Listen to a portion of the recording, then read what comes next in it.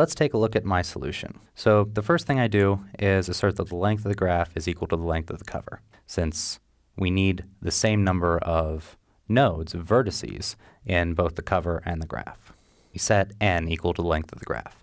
Then, so we go through every element in the adjacency matrix one by one. And if that element is set to 1, that is, there is an edge between those two vertices, and either the first vertice we're checking is not equal to 1, that is, it is not part of the vertex cover, or the second vertex isn't, then we return false.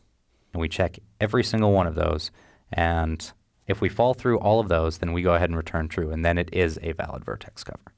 Now, for the naive vertex cover algorithm, what we do is first for every assignment in a product of zeros or ones that is of length n, that's what this product statement does, then if the validity check is true for that assignment and that input graph, then we set the size to be the sum of the number of ones in the assignment. So we add up all the elements in that list, all of the zeros and ones.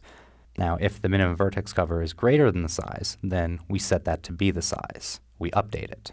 Otherwise, we leave it alone. Once we've looped through every possible assignment, and remember there are a lot of possible assignments, then we return the minimum vertex cover.